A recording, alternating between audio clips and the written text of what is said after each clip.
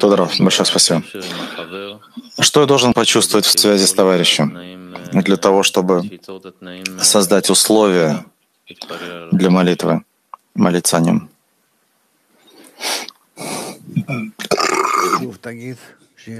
Повтори еще раз вопрос. Какой фидбэк я должен просить от связи с товарищем? Или что я должен почувствовать в связи с товарищем для того, чтобы я мог молиться о нем? Я всегда должен оправдывать товарища, что он всегда находится в работе в соответствии со своей ступенью, насколько это возможно, на сто процентов исполняет свою роль, исполняет свои возможности, стремится и быть в устремлении к объединению между нами. и раскрыть Творца в этом объединении. Так я должен воспринимать моих товарищей, что, они, что они таковы, и что в, ни в ком нет никакого изъяна, и на сто процентов, на каждый, насколько каждый способен в его состоянии, они производят исправление. Так первое условие — это первое условие для молитвы? Да. Это предваряющее условие. А что затем? Что потом? А затем я проверяю себя. Действительно ли я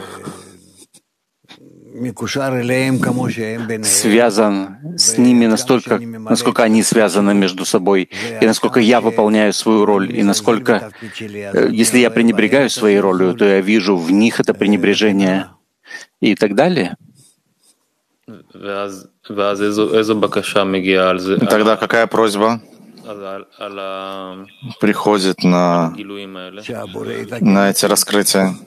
Чтобы Творец исправил меня, потому что если я вижу изъян в товарище, то это изъян во мне. Так здесь молитва товарища. Я молюсь, чтобы Творец исправил меня, чтобы я не видел изъяна в товарище.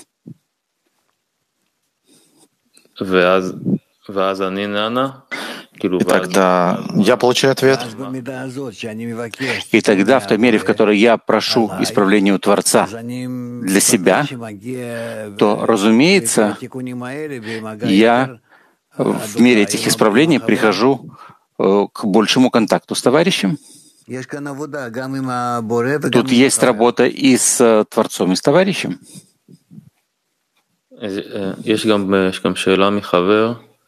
Еще вопрос от товарища.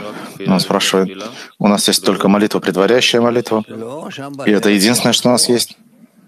Нет, там по пути есть у тебя еще. Только надо продвигаться. Я не могу объяснить все состояния, но вы должны их увидеть в соответствии с общим э, направлением.